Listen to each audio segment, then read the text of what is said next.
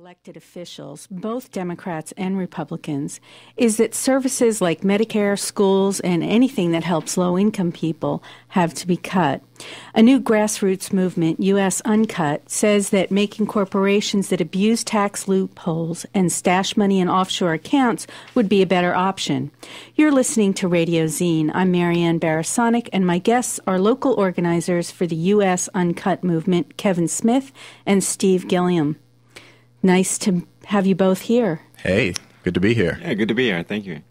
Now, we've been told over and over that there are no options and services have to be cut. I think the Obama administration is talking about something like $1.1 trillion over the next decade. Can getting taxes from corporations really make up this much? Yeah, you know, a 2008 uh, U.S. Senate investigation found over $100 billion a year is uh, going missing from offshore subsidiaries set up by corporations that dodge their taxes. So I would I would imagine that part of that 1.1 trillion could be made up in in reclaimed uh, taxes that are dodged each year.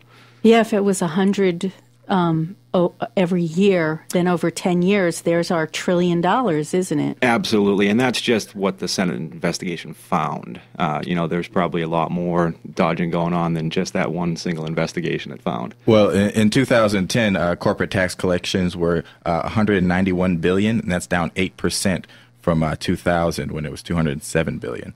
So uh, we're losing corporate tax revenue through uh, funny business with the tax code and uh, various tax havens that corporations use just to hide their income, basically. Yeah.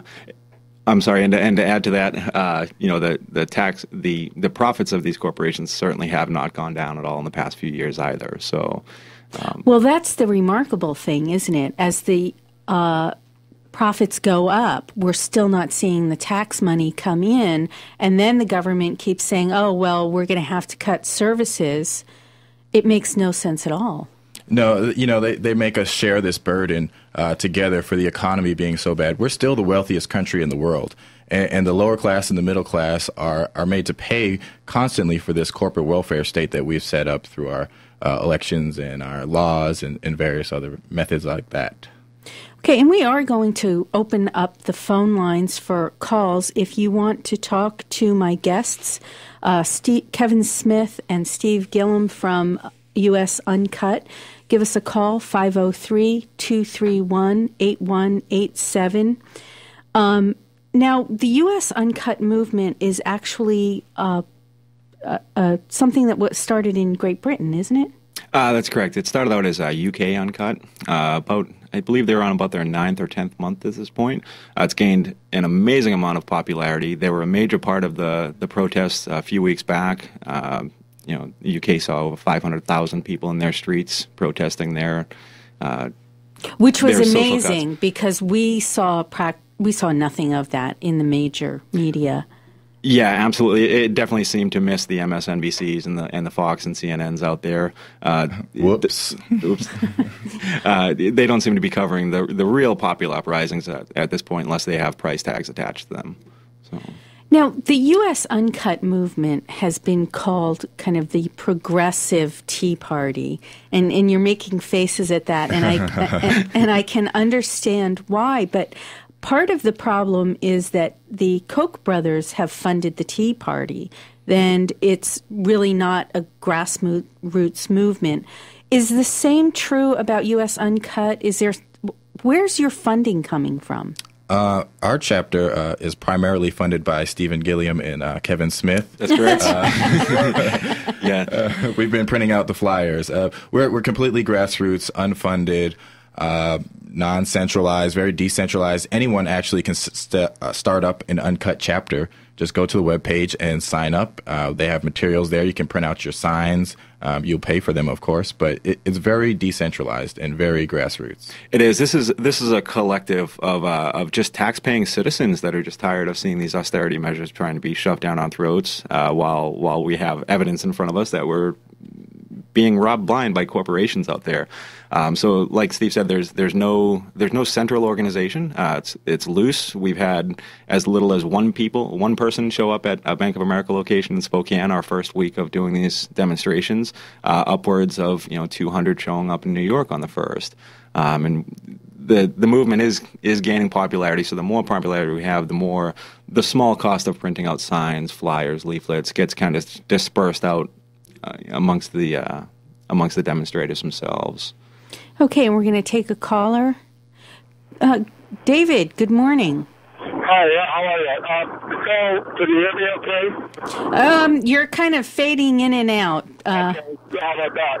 So, um, so my thing is that, uh, you know, I think this is an unbelievably great movement. I think this is exactly what needs to be done. Uh, hold these guys. If they're going to be having the laws of personhood, they're going to need to pay by the rules, play by the rules, and and pay for their crimes, just like the average Joe Blow have to. Um, quick correction on the Tea Party and the fact that I'm not. I'm uh, pretty radical and liberal, but I'm also conservative, and so I'm a mixture. I'm pretty much a nut politically. Um, but the Tea Party was the grassroots movement originally. The Tea Party started out with two men that came out and started a movement against the overtaxation of the United States citizens. Then the corporations saw the movement, felt threatened from the movement, and decided to co-opt it. And then they came over and took it over and exploited it and destroyed the movement. And now there's no credibility whatsoever to that movement. So Agreed. That, so that's what happened. But boy, I'll tell you what, these criminals and this welfare state for the rich has got to change before they destroy the country. And you saw on the news uh, that the IMF says by 2015 we are done as the world's power uh, financially. China will overtake us by three trillion dollars, and the way they go into holding the uh, the stirrups. And I'm I'm concerned about having a communist slave trading country controlling the world monetary system and the rules and regulations on how we do our you, you know, you know, David, I think you have so many excellent points there. It's great because um, we keep getting divided into these uh, labels of conservative or liberal or progressive. And yet, when we sit down and talk and we get down to the absolute essentials, we're all saying the same things. That's uh, yeah, and David, you did bring us some some, some great points there. Uh, we, as the U.S. Uncut movement, don't don't think there's any chance of being uh, bought up by by corporations uh, like the Tea Party kind of story kind of went.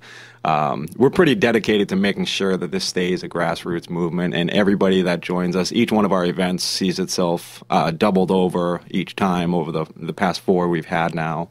Right. Um, and, and, I also would like to add, I think it's important that we stay out of the constructs of liberal and conservative because it just yes. really limits our, our, choices, and it's and it's presented to us for a reason. It's presented to us to provide that left and that right, uh, so they can divide us easily. And really, corporations donate the most to Democrats and Republicans. So what, what difference does it make? Right. Exactly. Um, now, who is being targeted by U.S. Uncut, and why are they being targeted? Uh, currently, uh, Verizon is kind of top of the list, uh, but the number one culprit would be uh, Bank of America, since they've had one of the largest hands in, in home foreclosures uh, in some of their earnings reports. Uh, you know, a few of the facts about Bank of America: they they've earned they earned in 2009 4.4 billion in income, received a 45 billion dollar bailout. they also have 115 tax havens that they funnel their money through and also took a 1.9 billion dollar uh, tax benefit out of your tax dollars and so, paid zero taxes. So not that. only did they not pay taxes, but they actually got money back on top of the bailout to the tune of 1.9 billion dollars. Yes. Not yeah, only so. that, but they took some of the bailout money that, that we gave them and some of the money that we lent them at 0.25 percent and bought U.S. Uh, Treasury bonds with it, and that pay out at 3.25 percent. So they literally took our money and loaned it back to us. Uh, all the while, they're they're foreclosing on homes. Over 500 foreclosures in the Portland metro area are Bank of America foreclosures. And, yeah. you know they're telling us you don't pay your bill, so get out of your house. Uh, meanwhile, they don't pay their bills, so we give them more money. Right, and even on top of that, mainstream media has even picked up the story that they're falsifying documents all across the country to get these foreclosures done. Um, 60 Minutes did a piece a few weeks back on on different companies they had actually set up to to to just production line out, you know, up to 3,500 rubber stamp, rubber stamp uh, these falsified documents, which uh, courts in Florida are now throwing out these uh, foreclosure cases and awarding the homes to the homeowners. Um, so Bank of America is is number one target right now. But you know we have we have lists that have just been populated all over the place. Uh, General Electric obviously is a is a large one. Yeah, uh, Jon Stewart did a great piece on General mm-hmm. Electric, which was really surprising because his network is owned by General Electric. Which is true, and uh, your listener is probably a little more in tune than than most uh, most Americans out there. But yeah, General Electric does own quite a bit of the networks. They're one of the five corporations that own 96% of everything that we read, see, and hear on television. And they also spent, over the last five years, $205 million on lobbying. $205 million on lobbying in the last five years. That's incredible. Which is a small number when you put it up against the 26 billion in profit that they make and then the $4.1 billion tax credit that we give them. But they got um, a great return on their investment. Great return. Oh, sure they did. They even, so great they actually got a, a their CEO in the White House. Right. You know, and we're going to take another caller. John, good morning. Morning, John. Good morning. Uh, uh, great show and I'm a member of KBOO and encourage anybody out there that's listening that likes your topic, hey, please donate to all the rest of us at KBOO here. Anyway, my uh, comments are uh, my big uh, dilemma all the time, and I'm in my mid 60s, and it seems like I've seen this movie, you know, uh, about a dozen times now. But this winner take all system that we have, we don't have any proportional representation. So I think over the years that our best bet is to try and take over the Democratic Party at the grassroots level, because we got to be realistic about getting power. If, uh, say, for instance, if the polls are really close between the Democrats and the Republicans, these Republicans, all we have to do is look at Wisconsin, uh, Indiana, Ohio, Florida. They are so far right, uh, they're super dangerous. Uh, they want to, I don't know if you follow the story in Wisconsin, but they want to eliminate every social safety net, unions. Uh, so, uh, even even the child labor laws. Right. Yeah, really, and and uh, minimum wage laws. They don't want any of this stuff, and uh, obviously they fool the people and then get in, and hopefully they'll they've shown themselves for what they really are. So it's back to the lesser of two evils, and I think if enough of us vote uh, and get out and vote and become voter activists, the more of us that vote, the more we can push the Democratic Party in a progressive direction, hopefully similar to what happened with FDR and the Depression. Yeah. Hey, John, I, I think you're right, but you have to do more than just get out there and vote because we're present. Yeah, I understand, but some of us, you know, can only do so much. Sure. But, but I want to always bring that up because it's so easy to get cynical and pessimistic and say, "Oh, they're both the same, the Democrats, the Republicans. Who cares?" You know, or vote uh, independent, green, uh, whatever. But hey, if we don't watch the polls, then it's a vote for the Republicans. They want us to vote. They want to divide us and con- uh, conquer.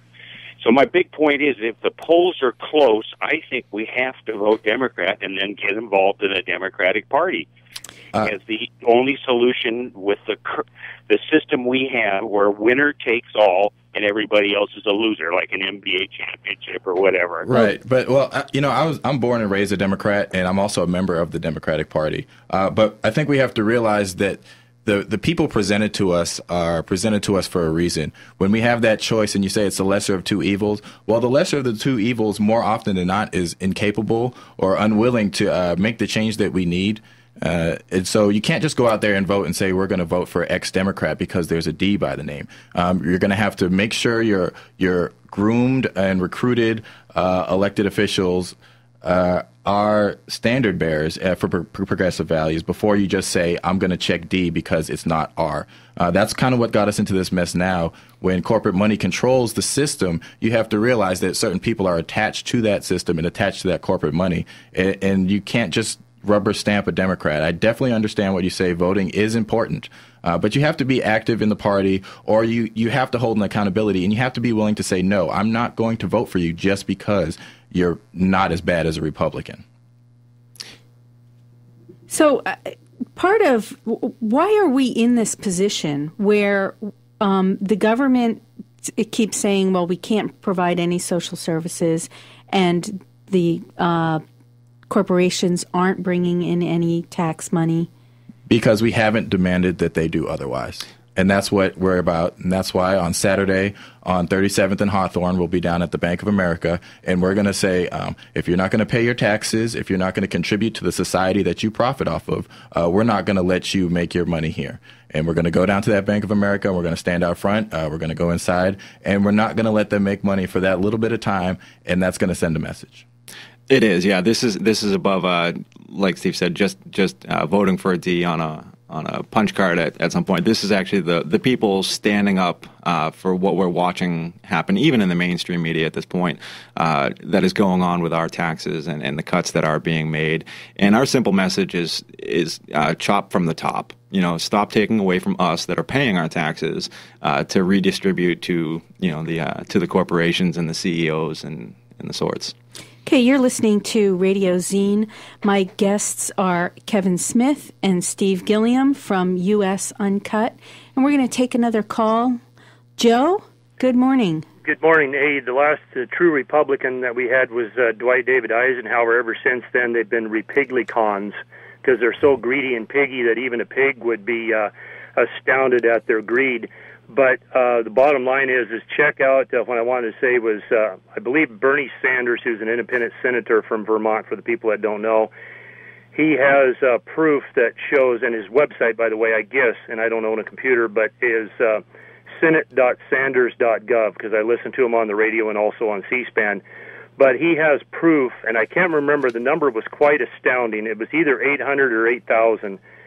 Uh, it doesn't matter if it's even just eight well, major I... corporations that have a address in the Cayman Islands. They all use the same address in the Cayman Islands to avoid paying any U.S. taxes whatsoever. I think that, Steve, that's one of the big issues for U.S. Uncut, isn't it? The offshore accounts. It is, yeah. We're we're learning all these major corporations just have hundreds of subsidiaries or you know uh, or companies they're doing business under other other names in the Cayman Islands. I mean, all over the world, really. That allows them to funnel their their profits away from the United States. Right, and, and they complain about the U.S. corporate tax rate being thirty five percent, but effectively the top two thousand uh, companies they only paid a shade under fifteen percent on their income because of all the loopholes. So we have a high uh, statutory rate, but the effective rate is very low. Yeah, and as the USUncut.org movement kind of builds, we're going after the, the main ones, but the the most important number to remember is two thirds of corporations in America are dodging their taxes in one form or another. So this isn't just the big, huge corporations, but this starts getting down into the smaller. Two corp- thirds. Two thirds is the is the statistic. It's I, pay I have no, no pay no tax at all, or uh, no or little, no, no or, or circumvent it in one one fashion or another.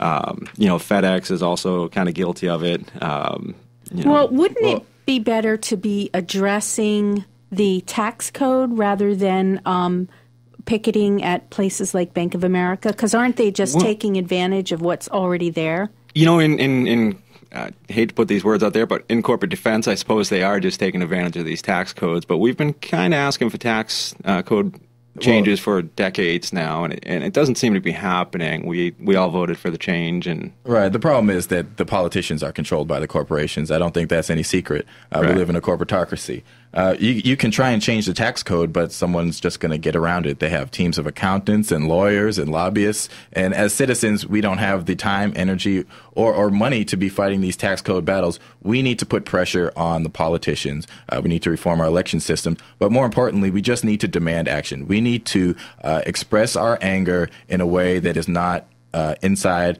at our coffee table talking to our close friends. We need to be publicly outraged, civil disobedience, nonviolent, uh, but firm, and we need to demand results.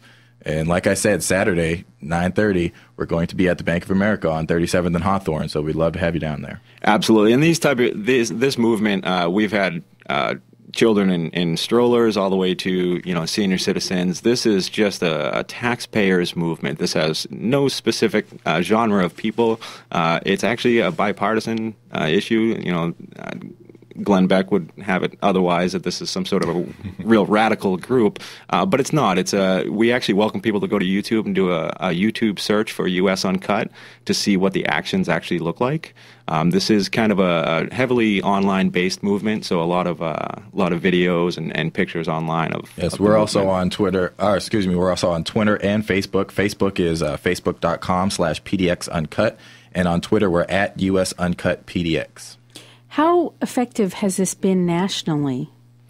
Uh, well, if you go by the numbers of, uh, of protests, uh, the first week, which was uh, what were we two months ago on our Yeah, first 26. on our first action, uh, we had about seventy five to eighty five people show up here in Portland. There was I think fifty five or sixty different actions across the nation, uh, and we've grown last weekend, or I'm sorry, uh, two week tax day on the on the fifteenth, uh, saw one hundred and forty five different protests across the nation. Um, and again, those are everywhere from from five people at small towns, you know, small southern towns. And I, I think New York had an amazing showing. We actually had a decent showing here of probably 90 to 100 folks that showed up on a Monday afternoon. to- Right. and to we're getting a- attention in the nation, um, Truthout, Huffington Post, um, everywhere. And, you know, people are, are shutting down banks, and it's, it's really gaining momentum very rapidly, just as it did in the UK. It's a very nonpartisan message. It's it's a message that you should be outraged. They're stealing from us, and they're taking advantage of us. And meanwhile, we're closing schools. And, Yeah. and laying off teachers and firefighters and policemen, and, and we're fighting wars for them. Yeah. you know it, this is ridiculous. Yeah, this is on top of a war economy where I think it's 51 or 52 cents out of each one of our tax dollars is paying for one illegal war or another. Um, so all these measures are coming on top of that. So, you know, when we say this movement has gained popularity, it's being backed by by the unions. It's uh, you know Veterans just about Peace. Veterans for Peace have a heavy hand in all of this. Um, so this is not just a single left type of issue. This is a this is a taxpayer issue. Right. And now the Yes Men did um, a, a good spoof on GE, didn't they? Yes, when they said GE was going to give back the money, and, and the Associated Press ran with it. That was that was awesome. We love the Yes Men. Yeah. Well, that was great because they were able to take clips of their CEO saying things like they, he needed to be responsible for the country that you know supports them and all this kind of stuff. And he they were able to take his own words, patch them together, and make this completely believable um, press clip. And I think that's why the mainstream media picked it up because it, it was his legit. own Yeah. words. Yeah, exactly, exactly.